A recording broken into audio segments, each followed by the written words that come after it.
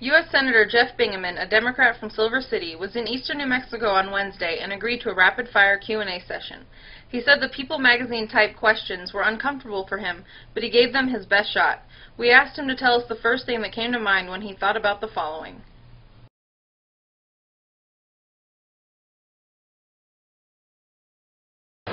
Oh, a good friend who I worked with for a very long time there in the Senate, uh, all 26 years that we were both in the Senate representing New Mexico.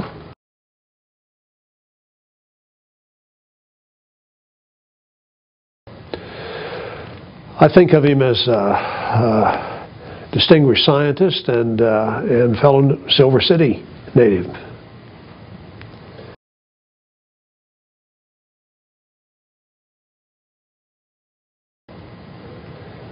Well, I think a Tucumcari is a, uh, sort of salt of the earth in small town New Mexico.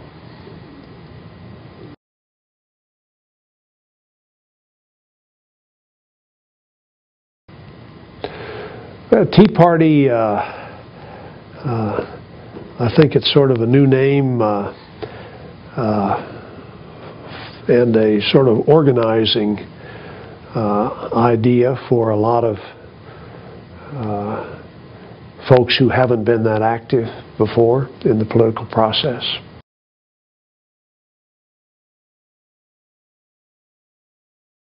Well, I don't know. I think uh, time will tell. I, I, think in this election cycle, uh, some of the people that they have strongly supported, I think, uh, probably are not the best qualified uh, for the offices that they're seeking, and uh, uh, it looks like some of them are going to be elected.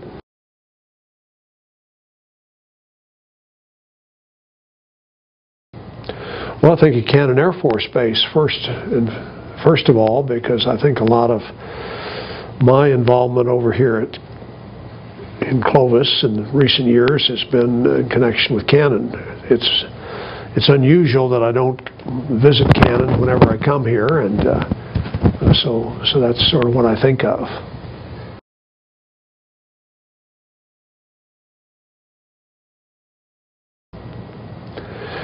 Well, I, I think, uh, uh, you know, I'm sure I don't, uh, I'm not in agreement with a lot of the editorials that, uh, that are run in the paper here, but uh, I think uh, there's a strain of libertarianism that's been present in our country for a very long time, and as long as it's consistently applied, I think it's a useful point of view.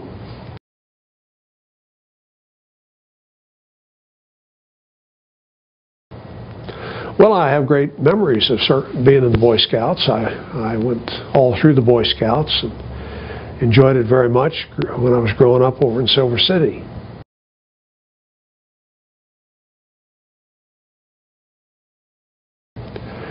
Well, Harvard was a, a wonderful uh, opportunity, and it's a great, great educational institution. I, I, uh, I wish everyone in the country would have the chance to uh, be exposed to some of the smart people that come together at a, at a university like Harvard.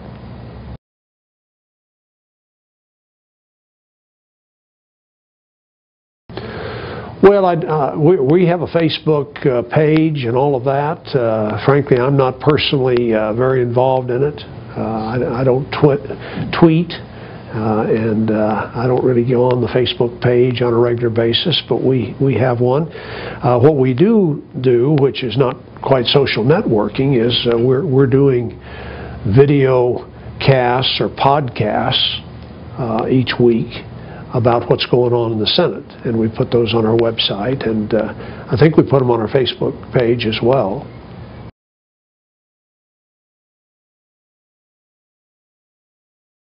Think uh, uh, of peanuts and peanut butter, and we, we were just uh, over at Sunland uh, this morning getting a tour. Uh, uh, Jimmy Shearer gave us a, a, tour of the, the peanut bottling operation they've got over there, and I think of Eastern New Mexico University, where we were yesterday, as a great educational institution in our state. So tho- those two things come to mind.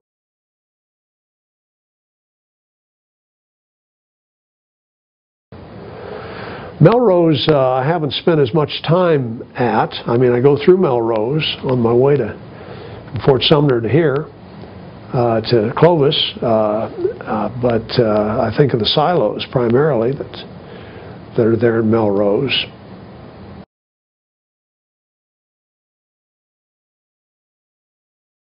Don't. I don't watch any TV shows uh, except sometimes the news hour.